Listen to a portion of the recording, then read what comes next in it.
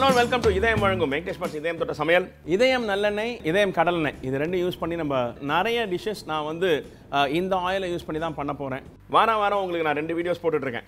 நிறைய டிஷ்ஷஸ் நீங்கள் கற்றுக்கிட்டு இருக்கீங்க. இந்த சீசன் நான் இப்போ போட்டிருக்கிற இந்த நிறைய வீடியோஸ் வந்து மோர் ஆஃப் சவுத் இந்தியன் நம்ம ரஸ்டிக் குக்கிங் நம்ம சவுத் இந்தியன் குசினில் வந்து ஆந்திரா கேரளா தமிழ்நாடு கர்நாடகா பாண்டிச்சேரி இதெல்லாம் வந்து it has a cuisine of its own நீங்கள் ஆந்திரான்னு எடுத்துக்கிட்டிங்கன்னா ராயல்சீமா அந்த தெலுங்கானா அந்த சைடில் இருக்கிற ஒரு குசின் இருக்குது ஹைதராபாதி குசின் இருக்குது நெல்லூர் சைடில் குண்டூர் சைடில் அங்கே இருக்கிற ஒரு குசின் இருக்குது தமிழ்நாடுனா செட்டிநாடு செட்டிநாட் குசின் இருக்குது இந்த பக்கம் பார்த்தீங்கன்னா மெட்ராஸுக்கு ஸ்ட்ரீட் ஃபுட்ஸ் இருக்குது கேரளா பார்த்தீங்கன்னா நம்பூதிரி அந்த வெஜிடேரியன் குசின் அந்த கோயிலில் பண்ணுற மாதிரி வேறே மாதிரி இருக்கும்.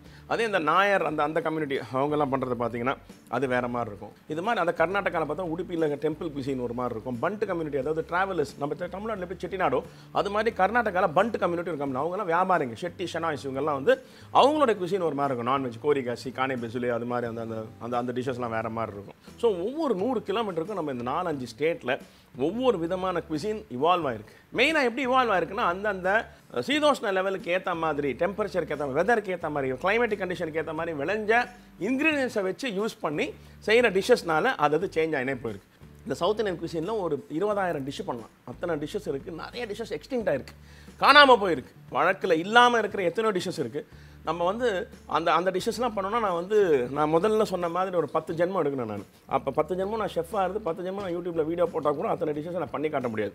So it's a it is a gastronomic delight south Indian cuisine வந்து இட்ஸ் அ கேஸ்ட்ராமிக் டிலைட் அவ்வளோ இருக்குது கற்றுக்கிறதுக்கு அவ்வளோ இருக்குது பண்ணுறதுக்கு இன்றைக்கி அது போல் ரொம்ப ரொம்ப ஃபேமஸ் என்னை வந்து ஒரு நூற்றம்பது இரநூறு கமெண்ட் எழுதி ஒருத்தர் மட்டும் கேட்டிருக்காரு இந்த டிஷ்ஷை வாங்கி பாத் பண்ணுங்க வாங்கி பாத் பண்ணுங்க. எந்த டிஷ்ஷு போட்டாலும் ஒரு பத்து கமெண்ட் இருக்கும். வாங்கி பாத் ப்ளீஸ் வாங்கி பாத் ப்ளீஸ் இது அவருக்காக பண்ணுறேன் ஸோ இந்த வாங்கி பாத் என் ஸ்டைலில் எப்படி பண்ணுறதுன்னு பார்ப்போம். முதல்ல ஒரு பவுடர் பண்ண போகிறோம் அடுப்பை பற்ற வச்சு ஒரு பேனை வச்சுங்க. இந்த பேனில் நான் போடுற கணக்கு மட்டும் கொஞ்சம் நல்லா பார்த்துங்க. நான் இங்கே டேபிள் ஸ்பூன் வச்சுருக்கேன். அதாவது பெரிய ஸ்பூன் டேபிள் ஸ்பூன் அதில் ஒன்று ரெண்டு டேபிள் ஸ்பூன் கடலைப்பருப்பு. ரெண்டு டேபிள் ஸ்பூன் கடலைப்பருப்பு போட்டிருக்கேன். அதுக்கு நல்லா ஹீப்டு ஒரு டேபிள் ஸ்பூன் உளுத்தம்பருப்பு. இந்த கடலைப்பருப்பு உளுத்தம் நான் எண்ணெயை போடலங்க ட்ரை ரோஸ்டிங் பண்ணிகிட்ருக்கேன் இந்த கடலைப்பருப்பும் உளுத்தம்பருப்பும் நல்லா ட்ரை ரோஸ்ட் ஆகணும். ரெண்டு பருப்பும் நல்லா ரோஸ்ட் ஆகி ஒரு ஃபேண்டாஸ்டிக் அரோமா வரும். அது வர்ற வரைக்கும் வெயிட் பண்ணுங்கள் அது வந்து கிட்டத்தட்ட ஒரு ஒன்றரை நிமிஷத்தில் வர ஆரம்பிக்கும். மீடியம் ஃப்ளேமில் வச்சிங்கன்னா ஸோ இந்த கடலைப்பருப்பு நல்ல கலர் வந்துடுச்சு உளுத்தம்பருப்பு வந்து ரோஸ்ட் ஆயின் இருக்குது இந்த ஸ்டேஜில் நல்லா ஹீப்டு ஒன்று ரெண்டு. ஹீப்டு டேபிள் ஸ்பூன் தனியா. அதாவது மல்லி. அது கூட ஒரு அரை டீஸ்பூன் அரை டீஸ்பூன் ஜீரகம் சீரகம். ஒரு கால் டீஸ்பூன் வெந்தயம். ஒரு அரை டீஸ்பூன் மிளகு. இவனுங்களை எல்லாரையும் போட்டு மிக்ஸ் பண்ணுங்கள் இந்த நேரத்தில் உளுத்தம் பருப்பும் கடலை பருப்பும் என்ன கலர் வேணுமோ அந்த கலர் வந்திருக்கும். இப்போது இவனுங்கள்லாம் வருகணும். யார்? சீரகம் வெந்தயம் மிளகு. இவங்கெல்லாம் வந்து வறுபடணும். இது கூட ஒரு ஆறுலேருந்து எட்டு கிராம்பு. அது கூட ஒரு நாலு துண்டு பட்டை நாலு அஞ்சு துண்டு பட்டை போடணும் இல்லை சினமனோட ஃப்ளேவர் ரொம்ப இம்பார்ட்டன்ட் கிராம்பு வந்து கொஞ்சம் கம்மி பட்டை வந்து கொஞ்சம் ஜாஸ்தி. அந்த சினமன் ஃப்ளேவர் தான் இந்த வாங்கி பாத்துக்கு ஃப்ளேவரே கொடுக்க போகுது. இது எல்லாத்தையும் போட்டு நல்லா ட்ரை ரோஸ்ட் பண்ணுங்க. இந்த கிராம்பு அப்புறமா பட்டை போட்ட பிறகு கால் மூடி ஒரு தேங்காய் ரெண்டாக உடைக்கிறீங்க. ஒரு மூடியில் கால்வாசி மூடி தேங்காய்.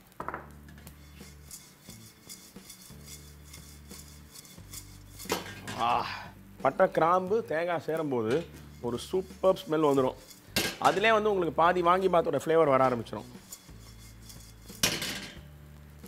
தேங்காவை போட்டு ஒரு one and half two minutes ஒன்றரைலேருந்து ரெண்டு நிமிஷம் மீடியம் ஃப்ளேமில் இதை இது மாதிரி கருக விடாமல் பேனில் ஒட்டாமல் கிண்டிக்கிட்டே இருங்க.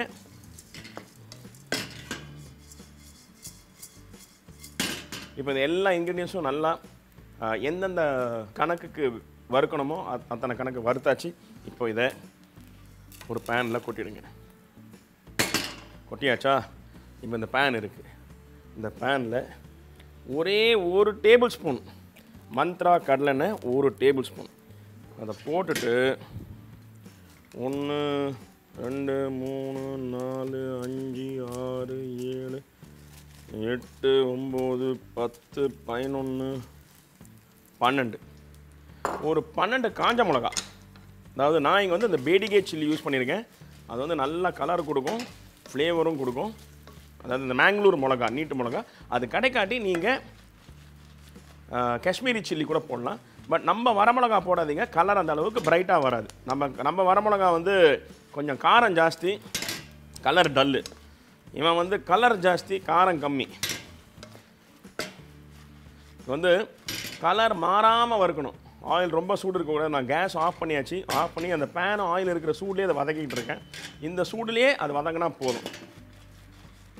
ஓகே வதங்கின இந்த மிளகாவையும் இதில் போட்டுருங்க. போட்டுட்டு இது சூடான பிறகு சூடு ஆறின பிறகு ஒரு மிக்சியில் போட்டு ஒரு ஃபைன் பவுடர் எவ்வளோ ஃபைன் வரும் தேங்காய் போட்டிருக்கோம். அதனால் ரொம்ப ஃபைன் வராது.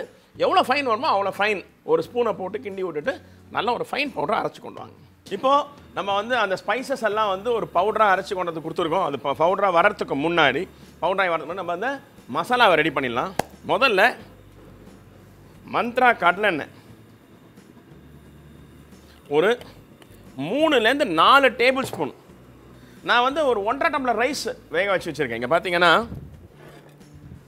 ஒன்றரைலேருந்து ரெண்டு டம்ளர் அதாவது முந்நூறுலேருந்து நானூறு gram three fifty to four hundred grams rice ரெண்டு ஒன்றரை கப்பு அந்த ரைஸை வந்து சுடு தண்ணியில் நல்லா ஒரு பத்து டம்ளர் தண்ணி ஊற்றி நல்லா கொதித்த பிறகு அந்த ரைஸை வந்து நான் கழுவி அந்த தண்ணியில் போட்டுட்டு நல்லா கொதிக்க வச்சு ஒரு அஞ்சு நிமிஷம் நல்லா குக் ஆன இது வெறும் ரெகுலர் பச்சரிசி.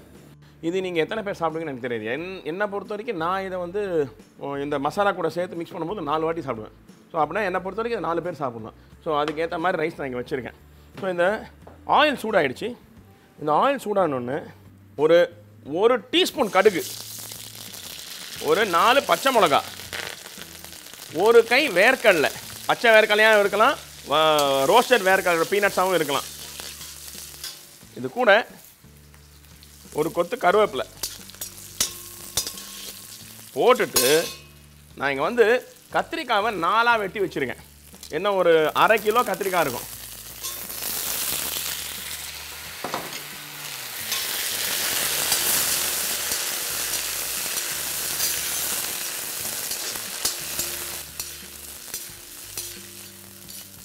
ஓகே.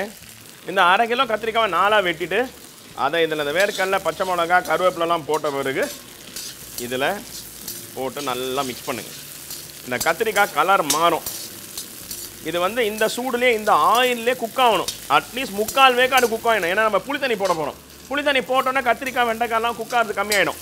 ஸ்பீடு கம்மியாயிடும். ரொம்ப நேரம் கொதிக்க வச்சு தான் குக் ஆகும். அப்புறம் நச்சக் நச்சக்கன் ஆகிடும் ஸோ அதனால் என்ன பண்ணணும்? கத்திரிக்காவை முக்கால் வாசி இந்த ஆயிலே குக் பண்ணிவிடுங்க அவன் பாட்டுக்கு இந்த ஆயிலில் நல்லா ரோஸ்ட் ஆகிட்டாவே முக்கால்வாசி குக் ஆகிடும் எவ்வளோ நேரம்? ஒரு அஞ்சுலேருந்து ஆறு நிமிஷம் மீடியம் ஃப்ளேமில் வச்சு நீங்கள் கத்திரிக்காவை இது மாதிரி ஆயிலில் ரோஸ்ட் பண்ணிங்கன்னா முக்கால்வாசி வந்துடும்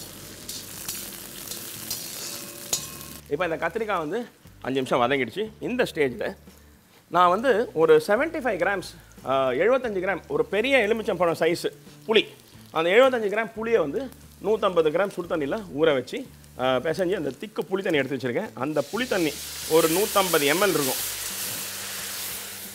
அதை இந்த ஸ்டேஜில் ஆட் பண்ணுறேன் அந்த புளி ஆட் பண்ணோடனே ஒரு ஐம்பது கிராம் வெல்லம். இந்த ஐம்பது கிராம் வெல்லம் நான் எனக்கு வாங்கி பார்த்து சாப்பிட்றதுக்கு பிடிக்கிற மாதிரி பண்ணியிருக்கேன். உங்களுக்கு வெல்லம் பிடிச்சதுன்னா ஜாஸ்தி போட்டுங்க. வெல்லம் பிடிக்காட்டி போட்டுக்காதீங்க. பட் இந்த டிஷ்ஷில் வெல்லம் இருக்குது ம்? போட்டு இது நல்லா குக் ஆகட்டும். இந்த ரா ஸ்மெல் அந்த புளியோட ரா ஸ்மெல் போகணும்.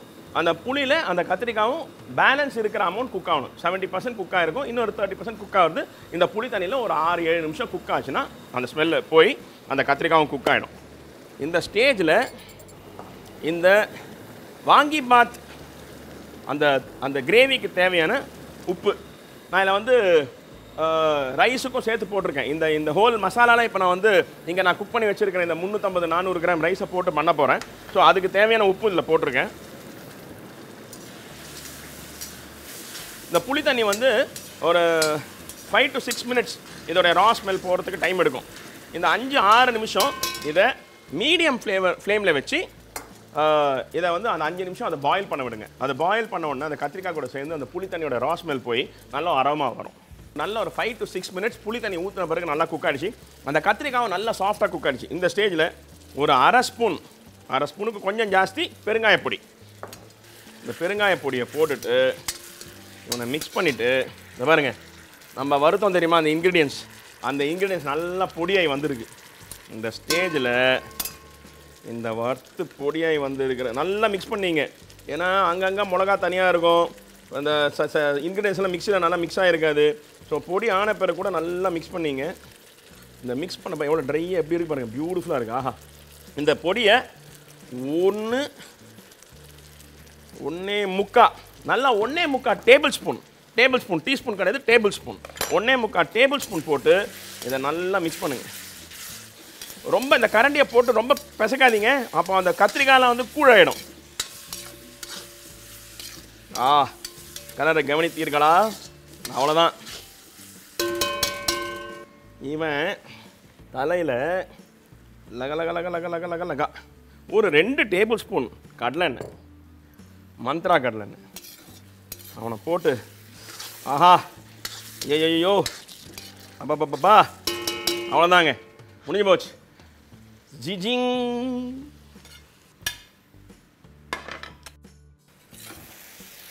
இங்கே ரைஸ் வந்து நான் இப்போ வடித்தது ரைஸு அதனால் சூடாக இருக்குது நான் என்ன பண்ணுறேன் கேஸை ஆஃப் பண்ணிவிட்டு இதை நல்லா கிண்டுறேன்.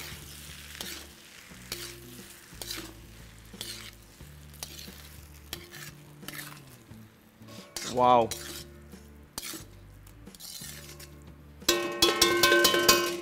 இதுக்கு மேலே ஒரு லேவிஷ் ஸ்ப்ரிங்கிள் ஆஃப் கொரியாண்டர் அதாவது கொத்தமல்லி. அதுக்கப்புறமா வீட்டில் யார்ட்டையும் சொல்லாதீங்க. சைலண்ட்டாக எல்லாம் அந்த பக்கம் போன பிறகு ஒரு ஒன்றரை ஸ்பூன் நெய் இவன் தான் மேட்ரே என்ன தான் இருந்தாலும் இவன் இல்லைன்னா டேஸ்ட் வராது. ஸோ அவனையும் போட்டு அந்த கொத்தமல்லி கூட லைட்டாக இப்படி பெரட்டி அதுக்குள்ளே அவங்க வீட்டுக்காரெல்லாம் ஓடி வந்துடுவார் என்னம்மா பண்ண? இப்படி மணக்குது வீடு அப்படின்னு சொல்லிட்டு எல்லாம் வந்துடுவாங்க கிச்சனுக்குள்ளார அது மாதிரி ஒரு ஃபென்டாஸ்டிக் ஒரு கலர்ஃபுல் பார்த்து. கிளேஸ்ட் அப்படியே பியூட்டிஃபுல் ஷைனோட ஒரு ஃபென்டாஸ்டிக் வாங்கி பாத் உங்களுக்காக இதயம் தொட்ட சமையல் என் ஸ்டைல் செஞ்சு பாருங்கள் என்ஜாய் பண்ணுங்கள்